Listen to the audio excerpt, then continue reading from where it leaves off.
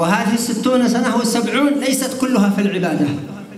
And all of the, your, your 60 or 70 years and your life, you're not spending your entire life worshiping Allah. كما قال الإمام العظيم أبو حامد الغزالي رضي الله عنه وأرضاه As Imam Abu Hamid al-Ghazali, the great Imam, informed us. فأنت إن عشت ستين سنة وتنام كل يوم ثمان سنوات فقد خرجت من عمرك عشرون سنة في النوم So as an example, if you live for 60 years and you sleep 8 hours each and every single day, Ghazali says, then 20 years of your life, khalas, you've spent sleeping. وإن كنت تعمل في اليوم والليلة ثمان ساعات فقد خرجت عشرون سنة من أخ أخرى من عمرك في العمل أو في الدراسة And, and then likewise, if you work from 9 to 5, then you spent another 8 hours of your life working or studying or whatever that may be. That's another 20 years. وإن كنت تأكل في اليوم والليلة وجبتين فقط وكل وجبة تجلس لمدة نصف ساعة تأكل فهذا معنى أنها ثلاث سنوات خرجت من عمرك فوقة الطعام فقط إذا عشت ستين سنة Likewise, if you eat twice a day, and for instance, each meal is what half is half an hour in duration,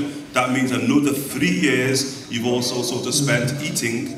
وإذا كان سن البلوغ عندك 15 سنة فقد ضاعت 15 سنة قبل البلوغ أيضا كلها من غير أعمال صالحة so likewise also you only reach puberty when you're 15, and so for the first 15 years of your life you weren't praying, you weren't fasting, you weren't. فلم يبقى إلا القليل الذي نحوز به الطويل الأبدي And so then what then remains, yani what then remains of life? You have to worship Allah subhanahu wa ta'ala, by virtue of which Allah subhanahu wa ta'ala recompenses you eternally. فنسأل الله بكرمه وجوده أن يتكرم علينا وعليكم بما تكرم به على عباده الصالحين Thereby Allah, we ask Allah subhanahu wa ta'ala, and by virtue of His honor and generosity and munificence, that Allah subhanahu wa ta'ala honors us and bestows upon us in the same way He honors and bestows upon His وكما elect. تكرم علينا وعليكم بالإسلام أن يزيدنا من الإسلام ومن حقائق الإسلام And just as Allah subhanahu wa ta'ala honored us with Islam, we ask that Allah ta'ala increases us in the realities of Islam. وكما تكرم علينا وعليكم بالإيمان يزيدنا من الإيمان In the same way Allah subhanahu wa ta'ala honored us with faith, we ask that Allah subhanahu wa ta'ala increases us in faith.